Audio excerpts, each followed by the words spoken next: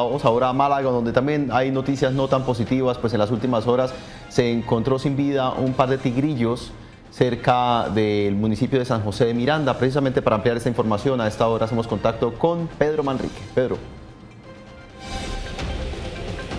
Buenos días para usted y para todos los televidentes de Oriente Noticias. Acá en Málaga, la Corporación Autónoma de Santander CAS, junto con las demás autoridades ambientales, investigan la muerte de una tigrilla junto con su cría, que fue hallada en una vía en la parte alta del municipio de San José de Miranda.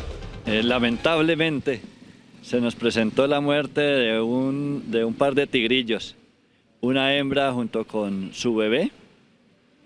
Tal vez al intentar atravesar la vía o no, estamos en determinando cuál fue la posible causa de la muerte de estos dos animalitos que lamentamos profundamente realmente.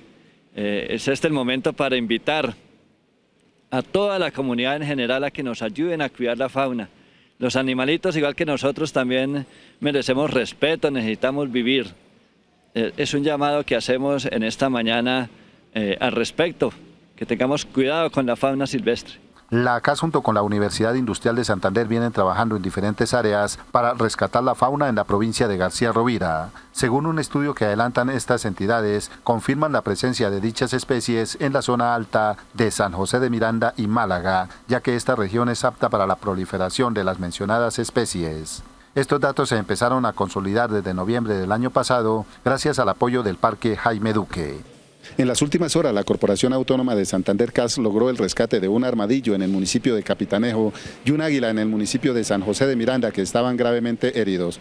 Esto se logró gracias a la información oportuna de la comunidad que permitió el rescate de estas especies.